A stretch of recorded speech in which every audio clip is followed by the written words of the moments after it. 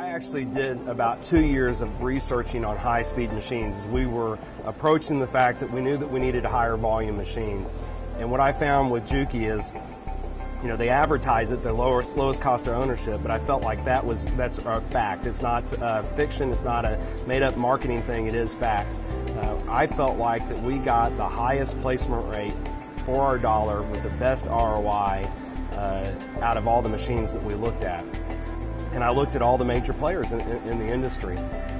And I, I, can tell you again, we, we talk about integrity and, and what they say they're going to do for you versus what they actually do. And Juki has hit that flawlessly in the post sales. Uh, that's that's why I'm here. That's why I'm, I'm willing to, to, take an interview about why I like the Juki equipment so much. Is what they say they do, they will do. This was a completely new buy for us. We've never run Juki equipment.